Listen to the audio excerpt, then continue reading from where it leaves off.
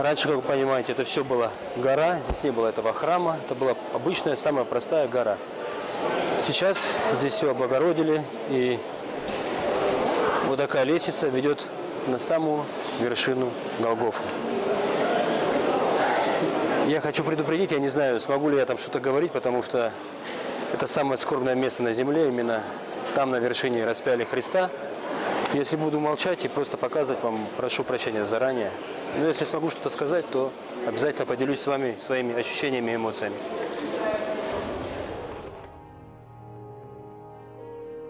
Сегодня распятие возвышается над открытым престолом, а под ним помещен серебряный диск с отверстием в середине, обозначающим место, куда был вставлен крест.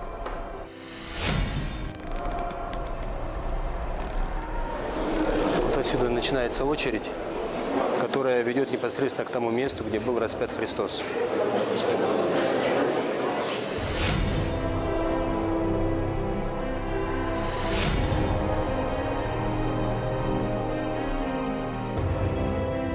А, а что дает вот то, что я прикоснусь к горе?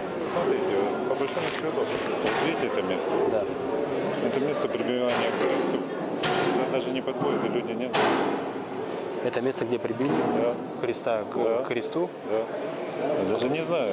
А почему же они не- А вот так вот. Сейчас, сейчас я, я своим зрителям скажу, что вот именно вот на этом месте, многие не знают, но именно на этом месте Христа прибивали к кресту. Э, Здесь стояла Святая Мария, когда Христа снимали с креста. Вот именно в этом месте она стояла. Ну, не вот прямо здесь. Ну, вот, если представить, убрать культурный слой, то это именно здесь находилось. И Голгофа, вот этот алтарь подарен именно царской России, то есть э, Александра III. На его деньги.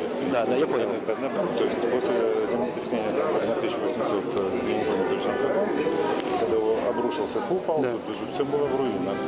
И это было пожертвование основное императорской семьи, плюс э, добавили немножко греки. Вот так вот, дорогие друзья. Шепотом поговорили, очень много информации. Это Голгоф. Это вот именно есть го- го- гора Голгофа, да, сама Голгофа, да. А вот там, соответственно, ме- место, вот прям куда ее можно руку просунуть и дотронуться до того места, где и, почу- и потрогать ее прям.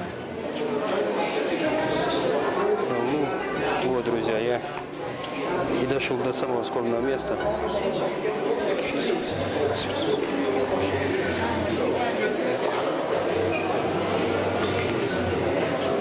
Вот туда можно опустить руку. Вот я, я сейчас трогаю Голгофу. Вот я сейчас прям трогаю то место, где распяли Христа. Ощущения, которые испытываешь, невозможно передать словами. Прошли тысячи лет, давно перестроен храм. Многие подлинные артефакты обновили или вообще заменили. Время разрушает и камень, и дерево, но оно не меняет чувств боли за Спасителя и благоговения перед его смирением на кресте. Господи Иисусе, моли Бога о нас.